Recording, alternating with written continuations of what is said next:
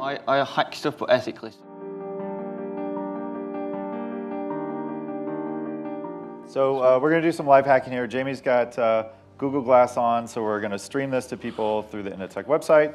And I'm going to let him hack my website at NewAer. So um, he totally has permission to do this, so I hope there Yeah, will, no, so be no, what- what there will be no raids coming in because I completely allow this. So what I'd do is um, there's this piece of software called Nessus. So the first thing I'd do is I'd complete a scan on the website. I mean, I could do all this manually, but I'd be there for like hours, well, days, months doing it. So this application kind of just like chucks loads of spiders and just says, hey, just go crazy. Because I mean, it's not it's not the fact that tools make you like a script kiddie. You've got to know how to use the tools. So I'm looking at this website and now I can tell that it's pretty much running WordPress, I'd say, or some kind of like content management system. So I don't think that's custom coded.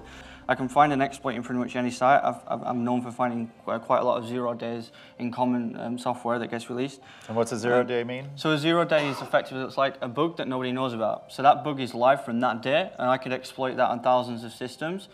So what I'd actually do is inject into the database, so it's running MySQL, and then I'd pull the user tables, like usernames, passwords, and email addresses. And then like WordPress encryption is really bad, so I'm just throwing it out there for you guys that have WordPress. You don't want to use it, but it's pretty good. So the benefits of us as users is we get to see our bank statement or we get to buy things from Amazon.